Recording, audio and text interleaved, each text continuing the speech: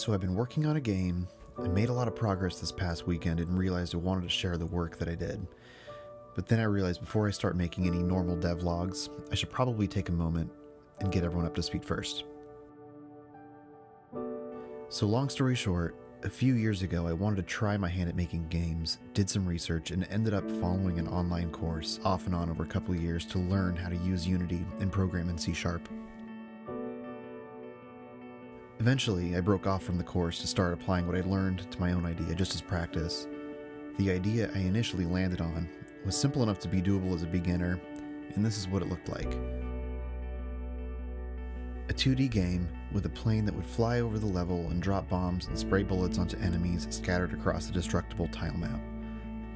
The player had a limited number of flyover passes and ammunition to clear out all of the enemies, after which they would advance to the next level.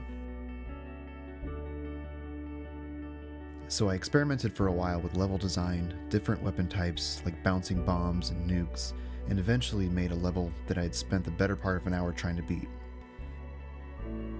So that challenging level made me continuously say to myself, okay, just one more try. And that made me realize that I could probably expand this idea into something I could maybe release one day. So, as a huge fan of games like Left 4 Dead and Half Life, which I had a lot of nostalgia with, I thought it'd be more interesting and more my style to replace those tiny soldiers with some zombies. So here's how that turned out. I adapted what I had before and made it about a lone pilot survivor in the middle of an apocalypse who is making their way by plane to some sort of safe haven where he helps other survivors below by providing some sort of makeshift air support from above without accidentally hitting any of the survivors below.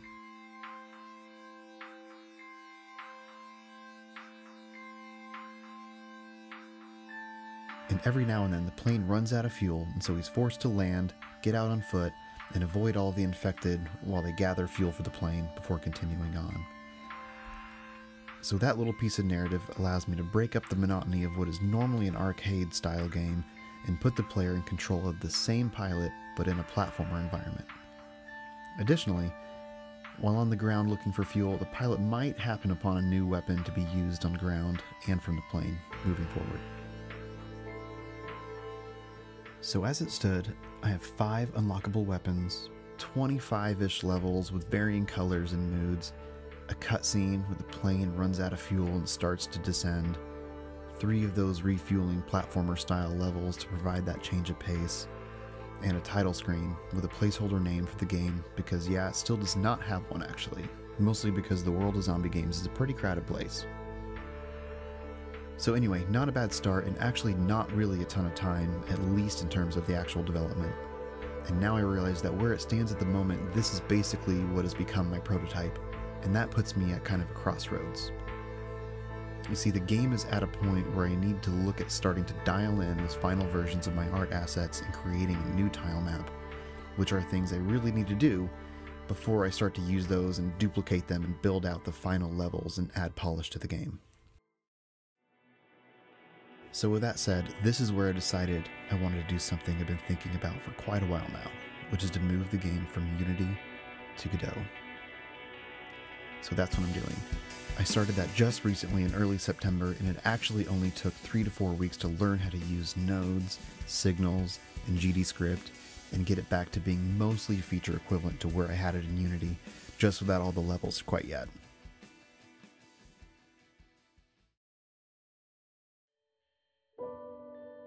Right now in the Godot version, I have one flyover level, one platformer level, and those are what I've used to reconstruct all the core features from my previous version before I can then duplicate them onto the additional levels. So, although I don't have all of those other levels rebuilt yet, I do have some other things now I never had in Unity. I do have a new tile map with some new art assets, and some animations here and there as well, since those were shockingly easy to implement in Godot.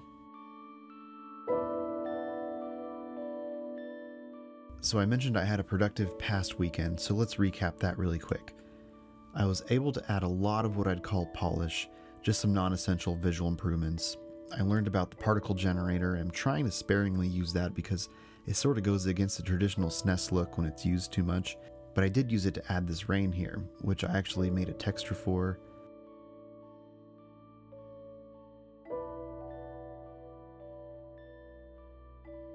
Some sparks for fires, and the fuse for a bomb.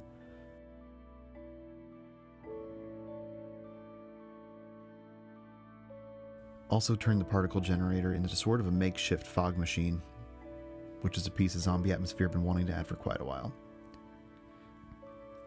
In addition to that, I've added this parallax background, which at the moment is a little too dark. This lightning effect, which is just a directional light 2D with a simple script.